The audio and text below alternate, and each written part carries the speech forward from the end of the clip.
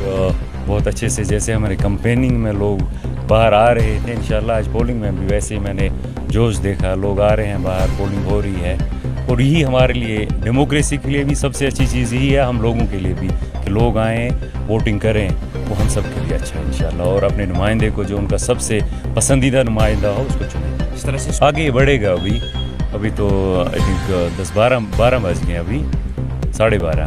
तो इंशाल्लाह ये बढ़ेगा।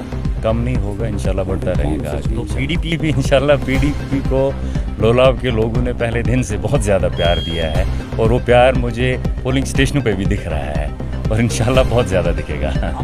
माहौल वैसे हर जगह अच्छा है। कहीं कहीं पे लोगों को थोड़ा कार्ड देखना वगैरह वो तंग कर रहे हैं। वो मैंने बात भी की है अभी आ, आ, जो हमारे आर साहब हैं उनसे मैंने बात की कि लोगों को वोट करने दें आप। वो जिस साइड वोट करें उन्हें वोट करने दें आप।